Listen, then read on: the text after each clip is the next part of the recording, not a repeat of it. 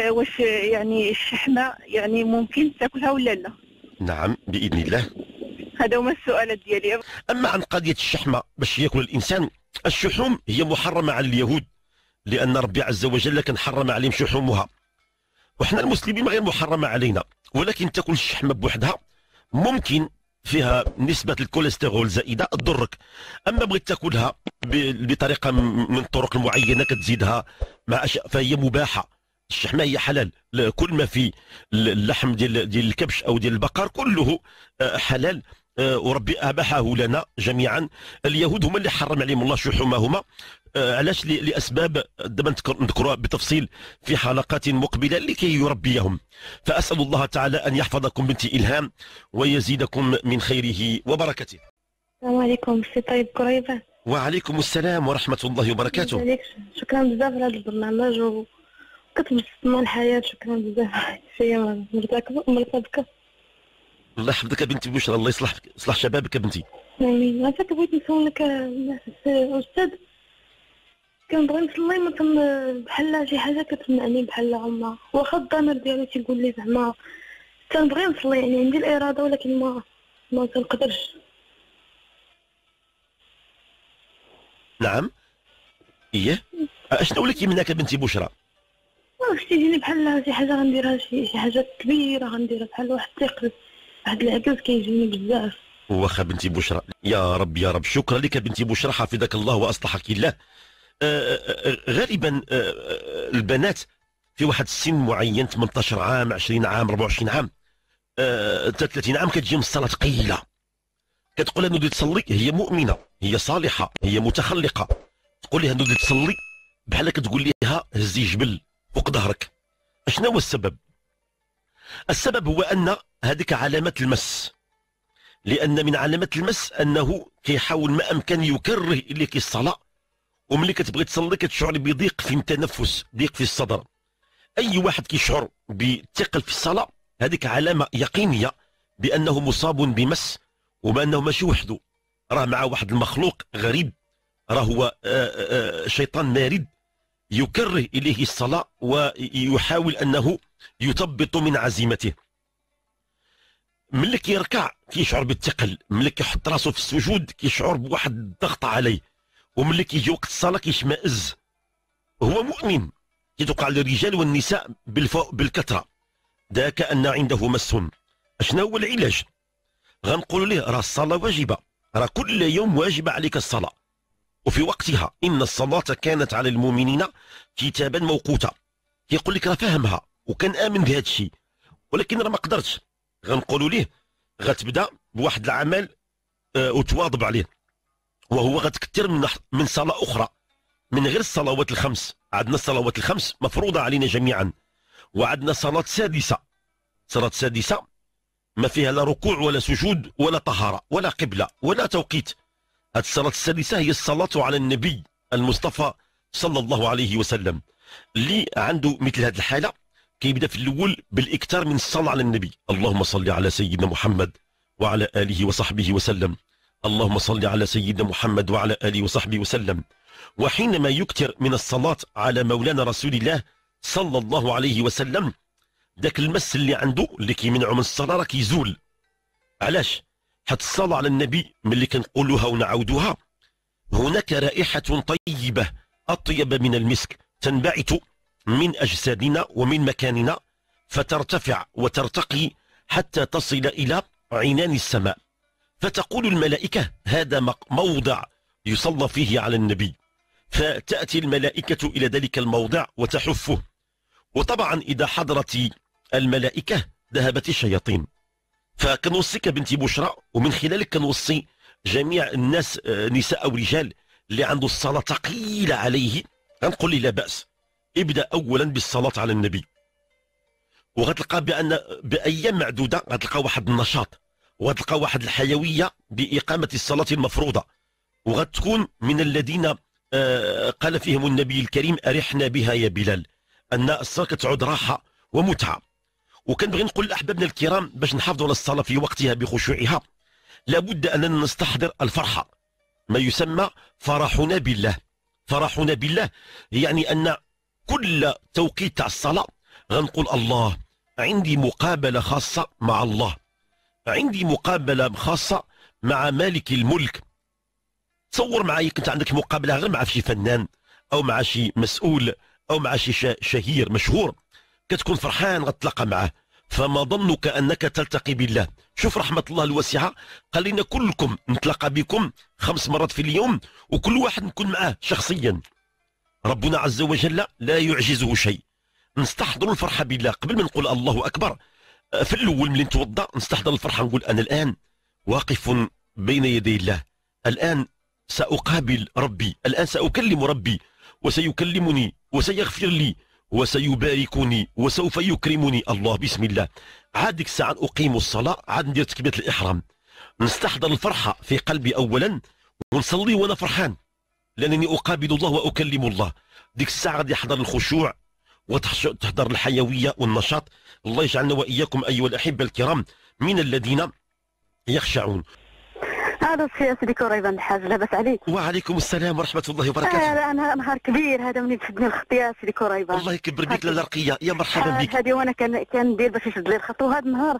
ما زادني فرحة يا سيدي كريبان ما زادني فرحة. أعزك الله أختي رقية حفظك الله الله ورعاك يبارك فيك يا سيدي الله يرحم لك الوالدين. شوف سيدي بغيت تدعوا معايا. يا. أنا الر- الراجل ميت لي وعندي جوج دراري. الله الله. دعوا معايا كما يهون لي ربيهم في شي خدمة إن شاء الله. يا رب. ولدي قرا قرأ حتى الباك هذا العام خرج من la fac. لا إله إلا الله. أه، والاخر كيقرأ في الباك الصغير كيقرأ في الباك. الله وبغيتكم تدعوا معايا الله يرحم لكم الوالدين. يا ربي يا ربي يا كريم. ودعا معايا مع الوالده فيها السكر ومعصبه بزاف سيدي الكريبان يا الله يرحم يا لك. الوالدين. يا رحمن يا رحيم. ودعا مع المسلمين الجميع يا سيدي الله يرحم لك الوالدين. يا ربي يا كريم يا ربي يا كريم. لا رقية الله يحفظك لا رقية لا إله إلا الله. أختنا رقية نموذج من ال- النساء المغربيات. كيف كتلاحظوا؟ الكلام ديالها كيبان فيه البراءة. واحد الإنسان مغلوب على أمره. ما باغي يدير لا ثورة. ما باغي يدير اعتصامات ما باغي يدير عرائض استنكارية. ما باغي يدير مقالات فيها كلام آه، صاروخي رصاصي. ما باغي حتى حاجة. باغي غير الدعاء باغي غير السلامة والعافية. باغي غير السهلة مواطنين فيهم رحمة وفيهم هدوء وفيهم سلام. ألا يستحق هؤلاء المواطنون أننا ندير جهدنا ونضاعف من جهودنا من أجل إسعادهم. ألا يستحقون منا أننا نعمل بالليل والنهار ونجد ونجتهد من أجل أن نقضي حوائج الناس وهنيئا هنيئا لكل من وفقه ربنا لقضاء حوائج الناس.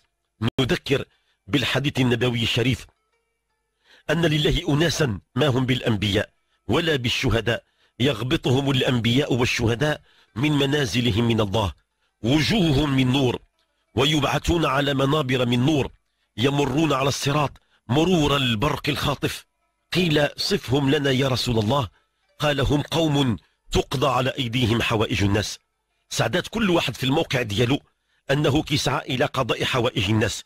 رجال الأعمال رجال الأمن رجال التعليم رجال الصحة رجال ال- ال- السياسة الموظفين في الجماعات والعملات ال- البرلمانيين أعضاء الحكومة رجال الصحافة رجال القضاء رجال الإطفاء الفنانون المبدعون كل واحد من الموطن ديالو إلا وممكن ينطبق على هذا الحديث أنه تقضى عليه حو... على يديه حوائج الناس يبعث يوم القيامة على منابر من نور ووجوههم من نور ويمرون على الصراط مرور البرق الخاطف حتى الأنبياء والمرسلين. كيغبطوهم كيتعجبوا منهم. شكون هادو؟ جاو من ورانا وكيسبقونا. شكون هما؟ هادو ما هم بأنبياء ولا أولياء ولا مرسلين. شكون هادو؟ ما هما مجاهدين ما هما يا علماء ما هما شكون؟ ما هم عباد ما هم زهاد. شكون هما؟ تقضى على أيديهم حوائج الناس. فهنيئا لكل من وفقه الله تعالى لقضاء قضاء حوائج الخلق. لا الرقيه أسأل الله الواحد الأحد. الله يجزيكم بخير. نتعاونوا مع اختنا رقيه بواحد الدعوة ديال الخير واحد الفاتحة. الزوج نسأل الله تعالى أن يرحمه رحمة واسعة وأن يسكنه فسيح الجنات وأن يجعله بجوار النبي المصطفى وأن يسكنه الفردوس الأعلى. والأولاد يا ربي هما راهم أيتام ومضاربين مع الزمان.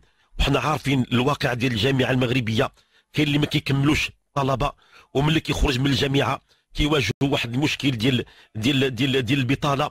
نسأل الله الواحد الأحد يفتح لهم الأبواب المغلقة ويسعدهم في قلوبهم.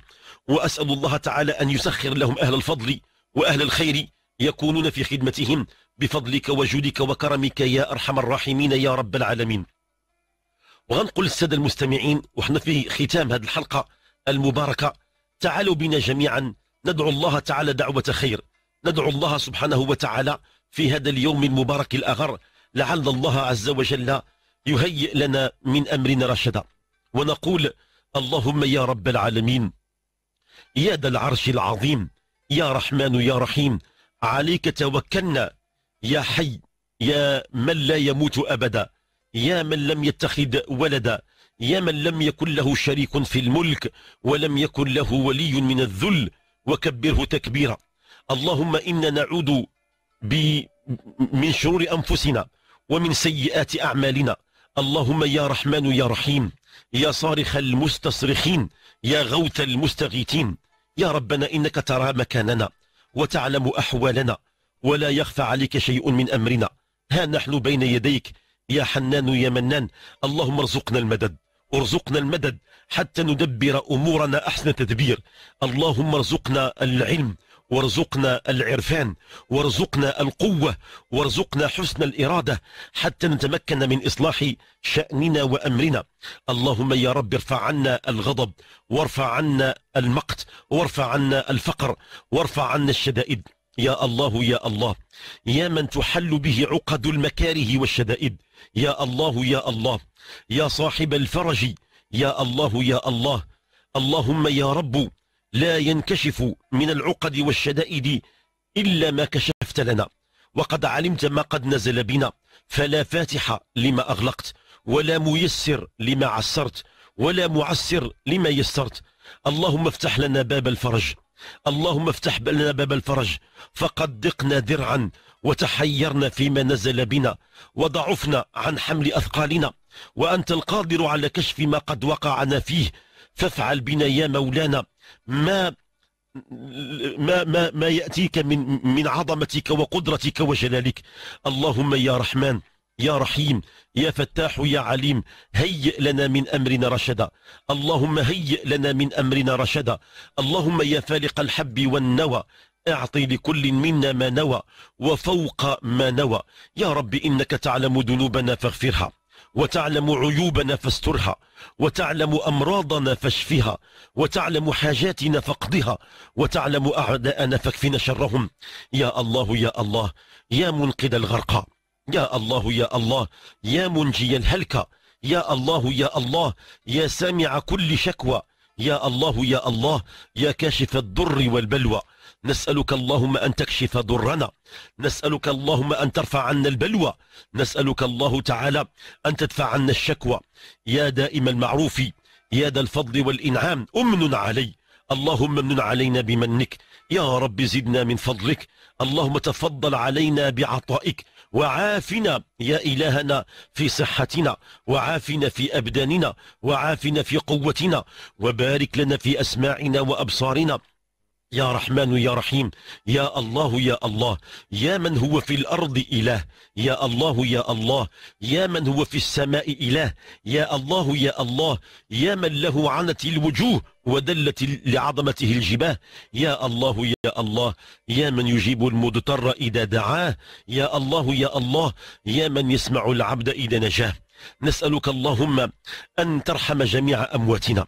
يا رب ارحم آباءنا وأمهاتنا وأجدادنا وأحبابنا وكل من له الحق علينا وارحم جميع أمواتنا وأموات المسلمين.